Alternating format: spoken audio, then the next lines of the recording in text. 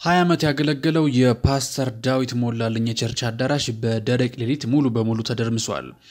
ሙሉ በሙሉ ጣራው በመውደቅ እና ግድግዳዎቹም በመሰነጣጠቅ ሙሉ በሙሉ ወደታች ወርደዋል ማለት ነው እና አገልግሎት መስጠት በማይችልበት ሁኔታ ፈርሷል almost። ታዲያ ቢሾፑ ዳዊት እግዚአብሔር ይመስገን እጅግ ደስ ብሎኛል ሲል ለምስጋና ብቅ ብለዋል። ቸርቹ ስለፈረሰ አምላኩን ያመሰገነበትን ሚስጥርና ስለ ፓስተሩ በጥቂቱ ነግራችኋለሁ። እናንተ ብቻ like ና subscribe የሚሉ ነጭና ቀይ ቀለሞችን መታ ያደረጋችሁ አብራችሁኝ ጥቂት ዝለቁማ። የቃሊቲ ልጅ ነኝ የሚለው ቢሾፕ ዳዊት ሞላልኝ ለብዙዎች ኮሜዲያን እንጂ የሃይማኖት መሪ ወይም አስተማሪ አይመስላቸውም። ለምን ቢሉ የመጽሐፍ ቅዱስ ትምህርት እያስተማረ እንኳን በሳቅ ፍርስ የሚያደርጉ ንግግሮችን ጣል ለማድረግ ለሱ ቀላል ነው። ራሴን፣ ወገቤን፣ አንገቴን አሞኛል አሞኛል የሚል ዘፈን አለ። ሰው እንዴት በሱ ይደንሳል? አይቆም ነገር በጌታ ፓስተርዬ፣ በእውነት እኮ ነው። አንተ እንዴት ነው ስታድግ በጌታ ነው ያደግከው መሰለኝ። አልዘፈንክም ፓስተር? ምንም አታ ኧረ በስመ አብ አንተ እኮ እኛ ያልሰማነው ጉድ እኮ የለም። በጌታ አንቺም ዜሮ እኔም ዜሮ ሁላችንም ዜሮ በሚል አንተ ሰው በዜሮ ይደንሳል።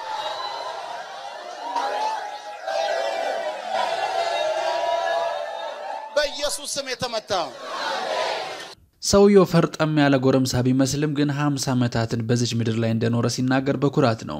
ነገሩ ፊት ለፊት ነው። ካሜራ ፊትም ሆነ ሕዝብ ፊት ማንነቱ አይቀየርም። የመሰለውን ፊት ለፊት በመናገሩ ብዙዎች እንዲወዱት ምክንያት ሆኗል። አይታል ፊልሞቻችን ራሱ ርዕሳቸውን ሰምታል። የሌባ ልጅ፣ የድሃ ልጅ፣ መካኒኩ እና ምንድን ነው በቃ ሁልጊዜ ድሃ ገንዘብ ያለው ሰው ሁልጊዜ እንደ ክፉ ፊልሙ ላይ አይታችኋል። ሀብታምን ጠቅላላ የእኛ ሀገር ፊልም ሀብታም የሚባለውን ሰው ጠቅላላ ምንድን ነው የሚያደርገው?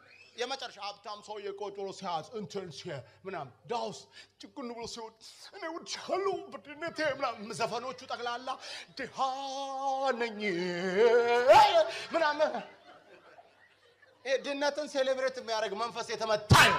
ባለትዳርና የሶስት ልጆች አባት የሆነው ቢሾፕ ዳዊት መንፈሳዊ አገልጋይ ብቻ ሳይሆን ቦክሰኛ ከመሆንም አልፎ የቀድሞ ወታደር እንደነበር ይናገራል። ምግብ ምግብ የሚመስለኝ ጥሬ ስጋ ስመገብ ነው የሚለው ዳዊት የህይወቱን ግማሽ በትዳር ህይወት አሳልፏል። መንገድ ጥሎኛ አልሄደም ሲል የዛሬ 17 ዓመት የመዝሙር አልበም ለእምነቱ ተከታዮች ማድረስ ችሏል።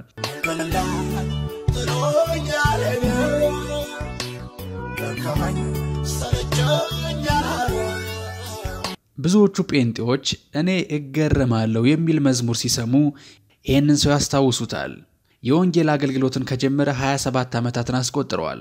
ከዛ በፊት ግን በብዙ ሱሶች ውስጥ ሆኖ የንጹሐንን ህይወት በመመኘት ውስጥ ይኖር እንደነበር በትዝታ ከዓመታት በፊት ጫት ለመቃም ጎራ ያለባቸውን ደሳሳ ቤቶች እያስታወሰ ፈገግ ይልባቸዋል። ንግግሮቹ እንደ standup comedy ከወራት በፊት የተጻፉና ልምምድ የተደረገባቸው ይመስል የሰውን ልብ ሰርስረው በሳቅ ያፍነከንካሉ።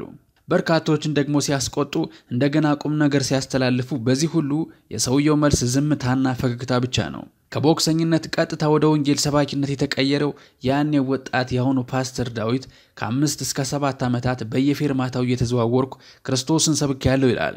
ከፒያሳ መገናኛ ከቃሊቲ ቦሌ ሁሉ እየዞርኩ በየፌርማታው ሰብኬያለሁ ይላል።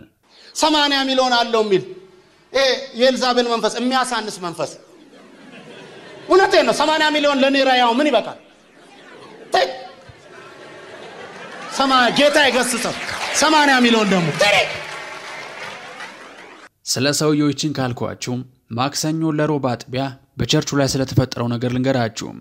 እግዚአብሔር ጠላትን እንዴት እንደሚቀድም ተመልክቻለሁ ያለው ፓስተሩ አዳራሹ በመፍረሱ ሐሴት አድርጌያለሁ ያለበት ምክንያት ለሮብ አጥቢያ የተደረመሰው አዳራሽ በቀጣዩ ቀን እጅግ በርካታ ሰው በተገኘበት ልዩ ፕሮግራም ልናደርግ ዝግጅታችን ጨርሰን ነበር። በዛ ዝግጅት ላይ አደጋው ቢፈጠር ኖሮ በሁሉም ቤት ሐዘን ይሆን ነበር ይላል አገልጋዩ። ይልቁንም ጠላት ተቀድሟል እንዳንደነግጥ እንኳን በሌሊት ማንም በሌለበት መሆኑ እጅግ ደንቆኛል፣ እግዚአብሔር ይመስገን ሲል ተደምጧል። ሌላው ቀርቶ ቀን ላይ አደጋው ተፈጥሮ ቢሆን ኑሮ ጥበቃዎችና የኮንስትራክሽን ሰራተኞች አደጋ ይደርስባቸው ነበር። ዛሬ ግን ምንም አይነት የሰው ነፍስ ሳይጠፋ ነገሩ አልፏልና እጅግ ደስ ብሎኛል ብለዋል ቢሾፑ ዳዊት።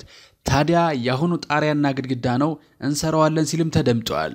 ለበርካታ ወዳጆቹም ቅን መልእክታቸውን፣ ሀሳብ ጸሎታቸውንና እንዲሁም ገንዘብና ጉልበታቸውን እንዲያዋጡ ጥሪውን አቅርበዋል።